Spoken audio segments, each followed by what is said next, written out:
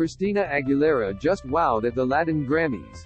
On Thursday, the 41-year-old singer took the stage to deliver an impressive performance of Cuando me de la gana alongside Christian Nodal. Dressed in a sequined black jumpsuit, Aguilera's powerhouse vocals took the lead as she and Nodal took turns singing verses from the ranchera-style song. The pop star ended the performance with one of her signature riffs, before tipping her hat to Nodal, who closed out the song, which tells the story of a woman taking charge in her relationship.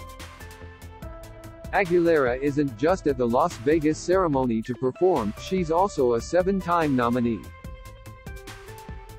Among Aguilera's nominations are her song, Pa Mis Muchachas, for Record of the Year and Song of the Year, and her album, Aguilera, for Album of the Year. It's no surprise Aguilera delivered a show-stopping performance.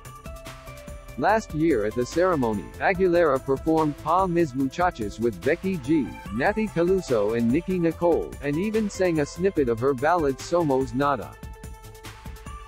The 23rd Annual Latin Grammy Awards aired Thursday, November 17 at 8 p.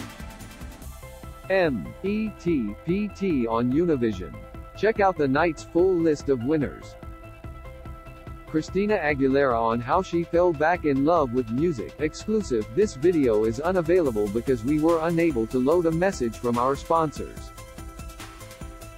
If you are using ad blocking software, please disable it and reload the page.